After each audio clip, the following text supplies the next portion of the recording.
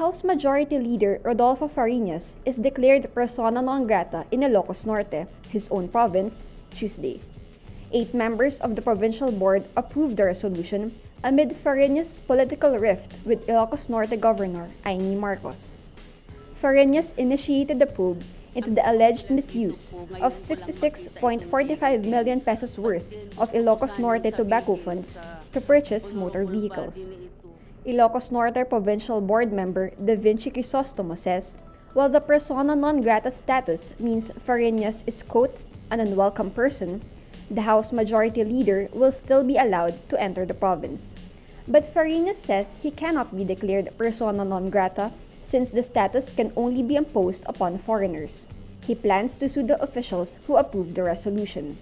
Fariñas says, quote, I will file cases against them for damages for the violation of my constitutional rights, for causing me undue injury through evident bad faith.